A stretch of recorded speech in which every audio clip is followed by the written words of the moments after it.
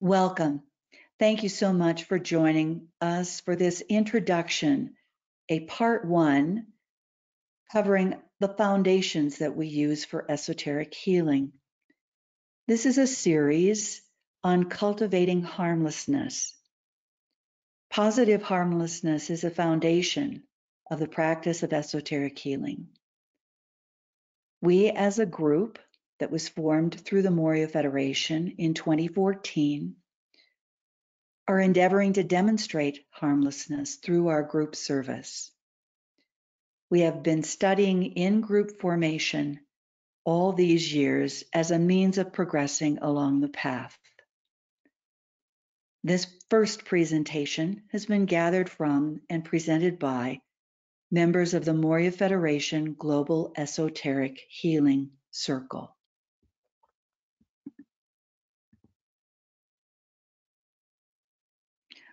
All of the materials have been drawn from the writings of the Tibetan master Djwhal Khul, which were recorded by Alice Bailey and published by Lucis Trust. Comments and impressions that have been shared by our group members are noted as such with quotation marks.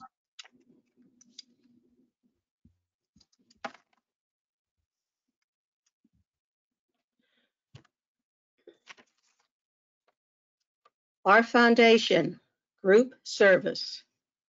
I am not interested primarily in training individuals in order to make them more efficient healers. It is group healing at which I aim, and it is the work which is done in formation which interests me at this time. But no group of people can work as a unit unless they love and serve each other. The healing energy of the spiritual hierarchy cannot flow through the group if there is disharmony and criticism. The first work, therefore, of any group of healers is to establish themselves in love and to work towards group unity and understanding. This comes from Esoteric Healing, page six, by Master Djwhal Khul. Work as a group, loving and serving. The group mantra is with purity of motive, inspired by a loving heart. We offer ourselves for this work of healing. This offer we make as a group and to the ones we seek to heal. You'll find that in Esoteric Healing on page 104.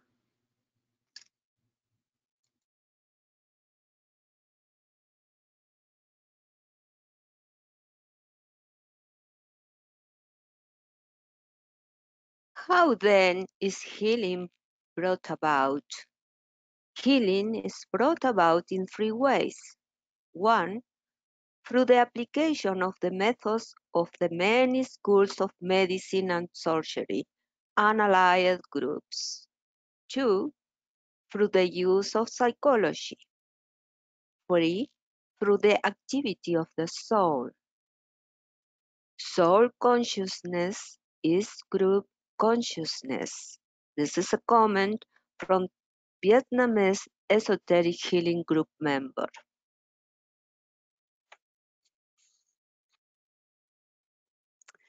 Based on occult facts. Certain things should be established as occult facts in the consciousness of the healer before she or he is able to work constructively. One, first of all, that there is nothing but energy, and this energy manifests itself as many differing and varying energies. Of these many energies, the universe is composed. Likewise, man's bodies or vehicles of manifestation are without exception constituted of energy units. These we call atoms, and these atomic units are held together in body form by the coherent force of more potent energies. Two, the major focal point of energy to be found in human beings is that of the soul, but its potency as an agent of cohesion and of integration is as yet greater than its quality potency. In the earlier stages of human evolution, it is the coherence aspect that demonstrates. Later, as man's response apparatus or bodies becomes more developed, the quality aspect of the soul begins to demonstrate increasingly. Three, seen from the inner side, where time is not, the human creature demonstrates as an amazing kaleidoscopic mutable phenomenon. Bodies, so called, or rather aggregates of atomic units, fade out and disappear, or flash again into manifestation. Streams of colors pass and repass, they twine or intertwine. Certain areas will then suddenly intensify their brightness and blaze forth with brilliance. Or again, they can be seen dying out and the phenomenon in certain areas will be colorless and apparently non-existent. But always there is a persistent overshadowing light from which a stream of lights pours down into the phenomenal man. This can be seen attaching itself in two major localities to the dense inner core of the physical man. These two points of attachment are to be found in the head and in the heart. There can also be seen dimly at first, but with increasing brightness, seven other pale disks of light, which are the early evidence of the seven centers. This is from Esoteric Healing, pages 36 and 37.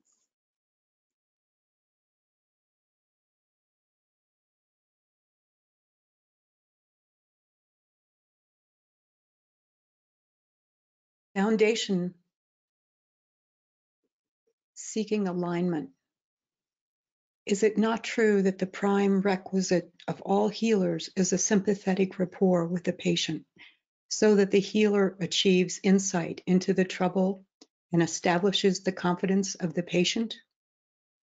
Two words I give you which embody the requirements of all true healers and towards which you must work. They are magnetism and radiation. A healer must be magnetic above everything else, and he must attract to him A, the power of his own soul. This involves alignment through individual meditation. B, those whom he can help. This involves a decentralized attitude. C, those energies when need arises, which will stimulate the patient to the desired activity. This involves occult knowledge and a trained mind. This is from Esoteric Healing, page 7. Master Djwhal Khul's alignment is one of the prerequisites.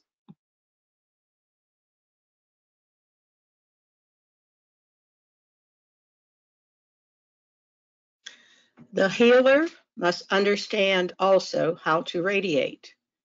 For the radiation of the soul will stimulate into activity the soul of the one to be healed, and the healing process will be set in motion. The radiation of his mind will illumine the other mind and polarize the will of the patient. The radiation of his astral body, controlled and selfless, will impose a rhythm upon the agitation of the patient's astral body and so enable the patient to take right action. Whilst the radiation of the vital body working through the splenic center will aid in organizing the patient's force body and so facilitate the work of healing. Therefore, the healer has the duty of rendering himself effective, and according to what he is, so will be the effect upon the patient.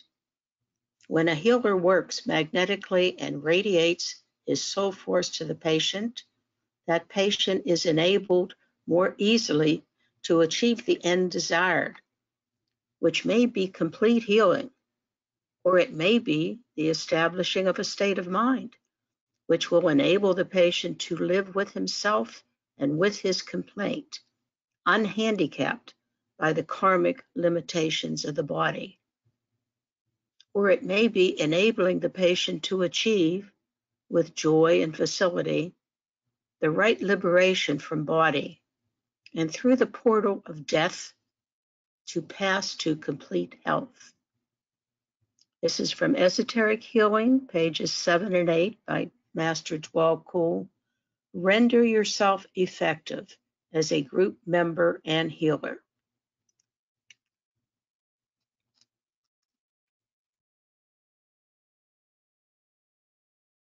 Therefore, we use the radiatory technique in group formation as a means of practicing loving group relations. As one group member said, the absence of any criticism, blame, judgment, or suspicion. As a means of developing group consciousness. As our group facilitator cautions us and guides us, blend your aura with the group aura. As a service rendered in the spirit of self forgetfulness and the practice of positive harmless, we use the group mantram with purity of motive inspired by a loving heart. As a technique to learn both radiation and magnetism within the protective aura of the group soul consciousness. We magnetize the ones we seek to aid.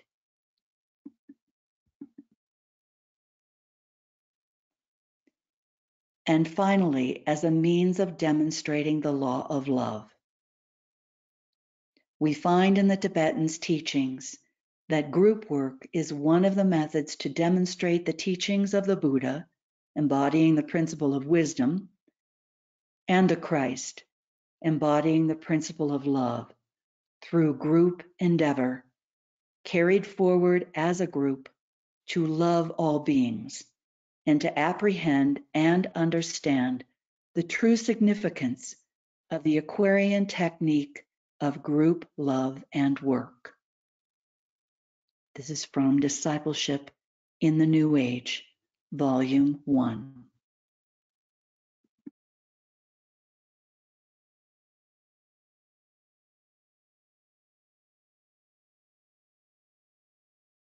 Our foundation, energy follows thought. Discipleship in the New Age, Volume 1, page 89. The secret of all true meditation work in its earlier stages is the power to visualize. This is the first stage to be mastered. Visualization is the initial step in the demonstration of the occult law that energy follows thought.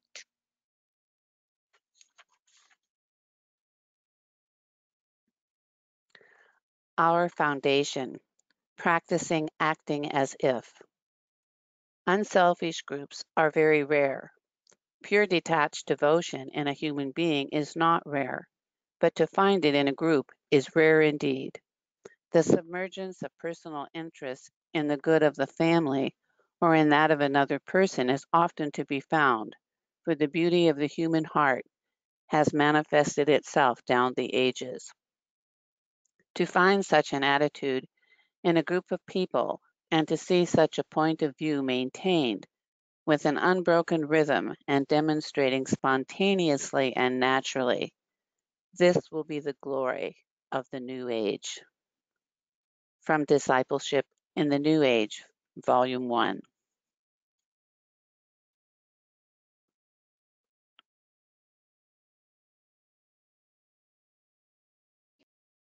We work in group formation, creating group unity and group coherence through creative visualization and meditation.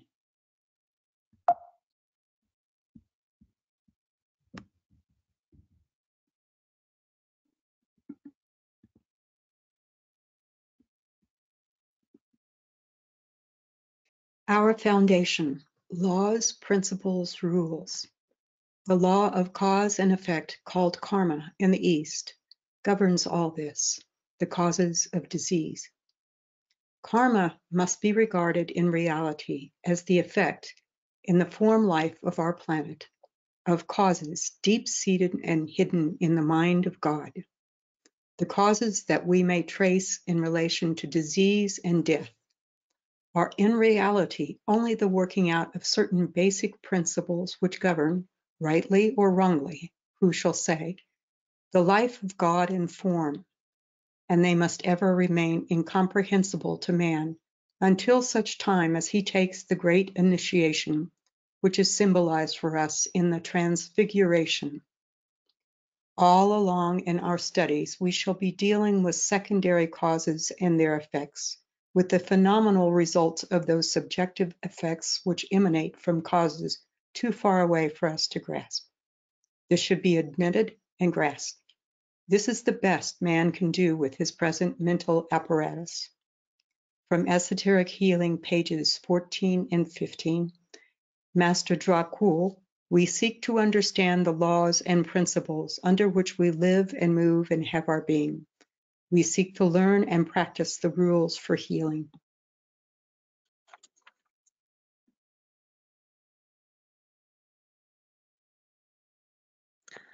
The law of cause and effect is not to be understood as we now interpret it. The world of glamour is at this time so strong and the sense of illusion so potent and vital that we fail to see these basic laws in their true significance. The law of karma is not the law of retribution, as one would surmise as one reads the current books upon the subject. That is but one aspect of the working of the law of karma. The law of cause and effect is not to be understood as we now interpret it.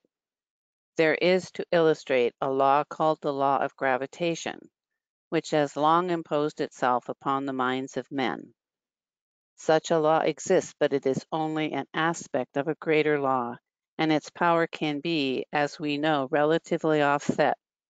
For each time that we see an aeroplane soaring overhead, we see a demonstration of the offsetting of this law by mechanical means, symbolizing the ease with which it can be surmounted by human beings.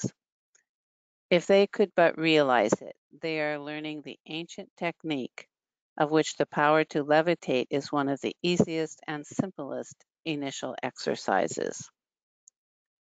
The law of consequences is not the inevitable and set affair which modern thought surmises, but is related to the laws of thought far more closely than has been believed. Towards an understanding of this, mental science has been groping. Its orientation and purposes are right and good and hopeful of results. Its conclusions and modes of work are at present woefully at fault and most misleading. This is from Esoteric Healing, pages 20 and 21.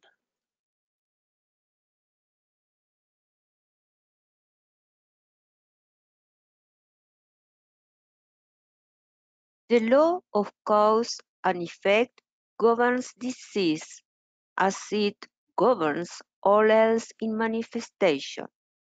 This is from Esoteric Healing, page 32.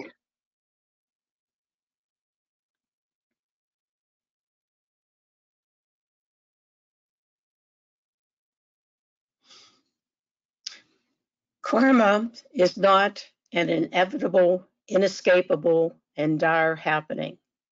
It can be offset, but this offsetting, particularly where disease is concerned, will include four lines of activity. One, determining the nature of the cause and the area in consciousness where it originated.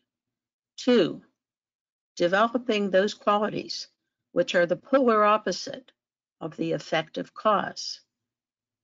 Three, practicing harmlessness so as to arrest the expression of the cause and to prevent any further Im- implementing of the unfortunate condition.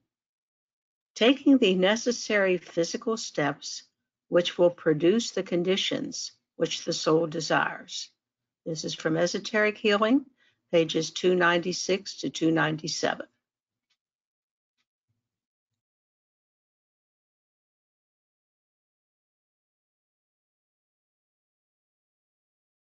Our foundation, Master D.K.'s approach. These energies pour through the seven centers of the planetary body and are, as far as we are concerned, the seven ray energies. In relation to the will to harm, which can and does demonstrate as disease in all the four kingdoms in nature, you have the reason why I instituted among the esoteric students for whom I have made myself responsible the development of harmlessness. It is the major agent for the offsetting of karma. From Esoteric Healing, page 296.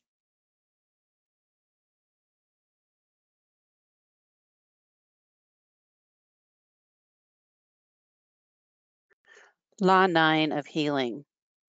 Law 9. Perfection calls imperfection to the surface. Good drives evil always from the form of man in time and space. The method used by the perfect one and that employed by good is harmlessness. This is not negative, but perfect poise, a completed point of view, and divine understanding. This is from Esoteric Healing, page 295.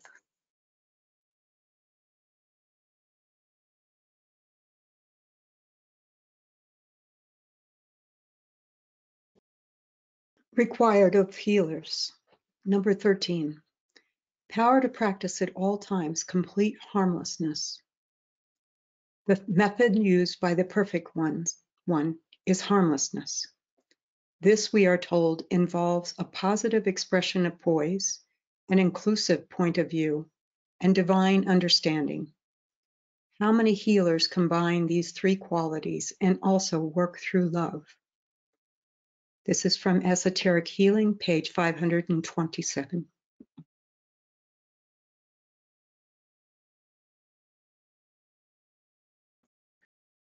Our foundation, occult meditation. Meditation is a te- technique of the mind which eventually produces correct, unimpeded relationship. This is another name for alignment. It is therefore the establishment of a direct channel, not only between the one source, the monad, and its expression, the purified and controlled personality, but also between the seven centers in the human etheric vehicle. This is, perhaps astonishingly to you, putting the results of meditation on the basis of physical, or rather of etheric effects, and may be regarded by you as indicating the very lowest phase of such results. This is due to the fact that you lay the emphasis upon your mental reaction to the produced alignment, on the satisfaction you acquire from such an alignment, in which you register a new world or worlds of phenomenon, and on the new concepts and ideas which consequently impinge upon your mind. But the true results, as divine and as esoterically desirable, are correct alignment, right relationship, and clear channels for the seven energies in the microcosmic system, thereby bringing about eventually a full expression of divinity. All the seven centers in the etheric vehicle of the Christ were rightly adjusted, correctly aligned, truly awakened and functioning, and properly receptive of all the seven streams of energy coming from the seven planetary centers.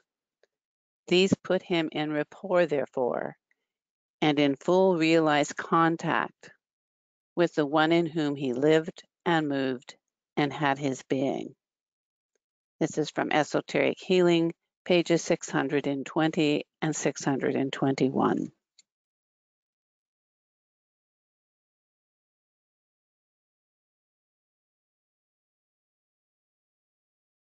In studying esoteric healing, we are at this point in our group study and service focusing on the astral body.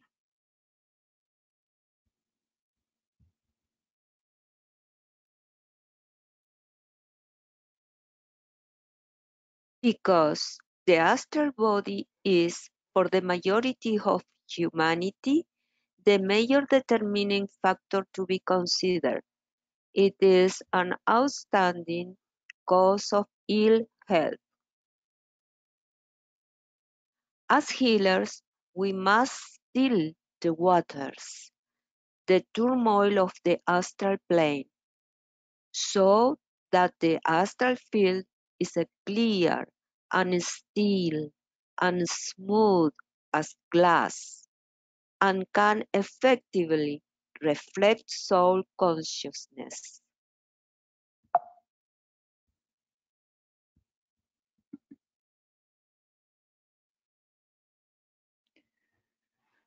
We have paused in our studies to collect our ideas, experiences, and understanding and share with you through this series, Cultivating Positive Harmlessness, modes and methods of developing and engaging the mind through music and movement, controlling the emotions, memes and messages and mediums for controlling the lower mind, mantras and meditation, developing the higher mind. As the mind is the slayer of the real, but only the relative real, as we're told in esoteric psychology too. We're pausing in our study and contemplation as a means of achieving personality integration and practicing positive harmlessness all along the path from the birth through the transfiguration.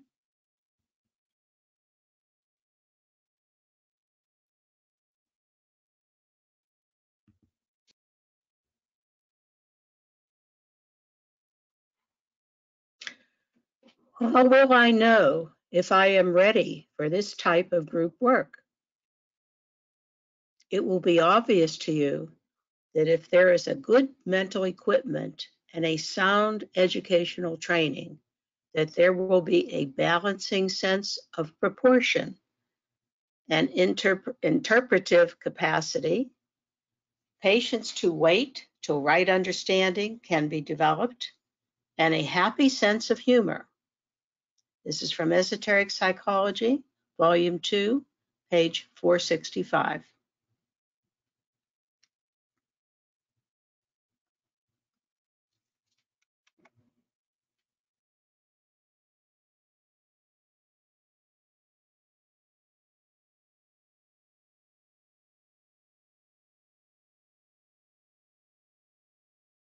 The Great Invocation, la gran invocación. Desde el punto de luz en la mente de Dios, que afluya luz a las mentes de los hombres, que la luz descienda a la tierra. Desde el punto de amor en el corazón de Dios, que afluya amor a los corazones de los hombres, que Cristo retorne a la tierra. Desde el centro, donde la voluntad de Dios es conocida, que el propósito guíe a las pequeñas voluntades de los hombres, el propósito que los maestros conocen y sirven. Desde el centro, que llamamos la raza de los hombres, que se realice el plan de amor y de luz, y selle la puerta donde se halla el mal. Que la luz, el amor y el poder restablezcan el plan en la tierra.